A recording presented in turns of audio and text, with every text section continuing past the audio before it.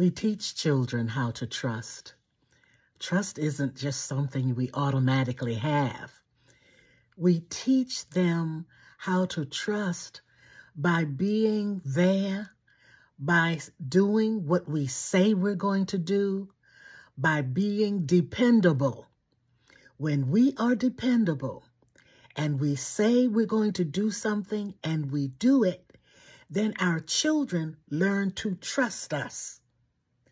Some people have trust issues, and they have those trust issues all their lives because people have disappointed them in the past. People have not done what they say they're going to do.